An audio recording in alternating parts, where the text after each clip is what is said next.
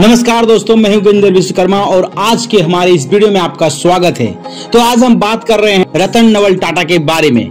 तो बता दें कि टाटा सन्स के मानद चेयरमैन रतन नवल टाटा का गुरुवार 10 अक्टूबर को मुंबई के वर्ली शमशान घाट पर राजकीय सम्मान के साथ अंतिम संस्कार हुआ।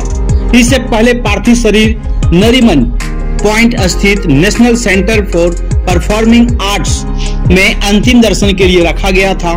यहाँ से उनकी अंतिम यात्रा वर्ली के शमशान घाट पहुँची। अंतिम संस्कार के पहले उन्हें गार्ड ऑफ़ ऑनर दिया गया। रतन टाटा ने छियासी साल की उम्र में बुधवार, देर रात करीब 11 बजे अंतिम सांस ली। वे मुंबई के ब्रिज कैंडी अस्पताल के आईसीयू में एडमिट थे और उम्र संबंधी बीमारियों से जूझ रहे थे।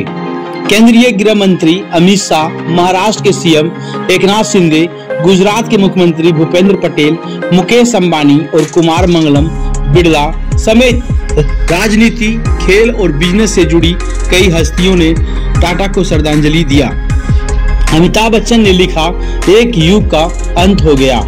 रतन टाटा की अंतिम विदाई से जुड़े कुछ फोटेज आपको हम दिखा रहे हैं। गुरुवार सुबह रतन टाटा के पार्थिव शरीर को कोलंबा स्थित घर से national centre for performing arts ले जाया गया।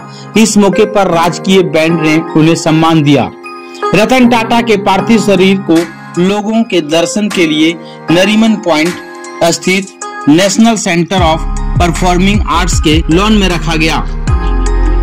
रतन टाटा के अंतिम दर्शन के लिए लोगों की लंबी कतारें देखी गई। इस वाहन में रतन टाटा के पार्थिव शरीर को वर्ली शमशान घाट में ले जाया गया। मोदी, राहुल और सुंदर पिचाई समेत बिज़नेस घरानों ने शोक जताया। टाटा चेयरमैन एंड चंद्रशेखरन, हम उन्होंने बताया कि हम अत्यंत दुख के साथ रतन टाटा को विदाई दे रहे हैं। समूह के लिए टाटा के चेयरपर्सन से कहीं ये, कहीं ज़्यादा थे। मेरे लिए वे एक गुरु के मार्गदर्शक और मित्र थे।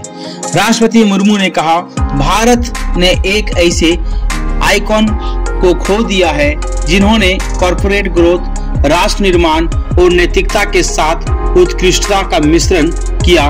पद्म विभूषण और पद्म भूषण से सम्मानित रतन टाटा ने टाटा ग्रुप की विरासत को आगे बढ़ाया है।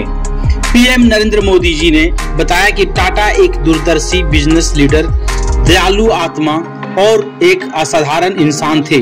उन्होंने भारत के सबसे पुराने और सबसे प्रतिष्ठित व्यापारिक घरानों में से एक टाटा ग्रुप को अस्थिर नेतृत्व प्रदान किया।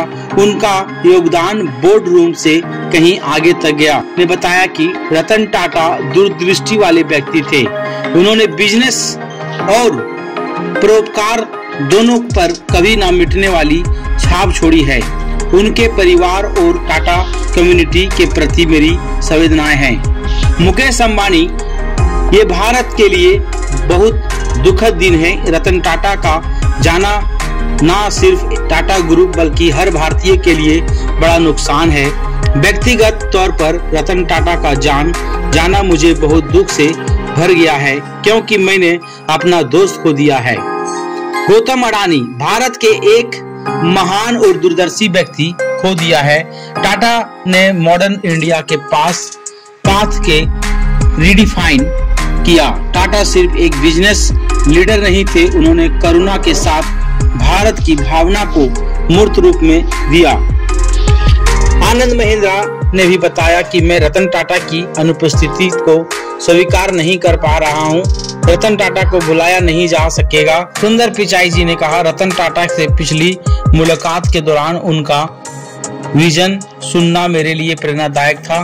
वे एक्स्ट्रा बिज़नेस लिगेसी छोड़ गए हैं। उन्होंने भारत में मॉडर्न बिज़नेस लीडरशिप को मार्गदर्शन देने और डेवलप करने के में महत्वपूर्ण भूमिका निभाई थी।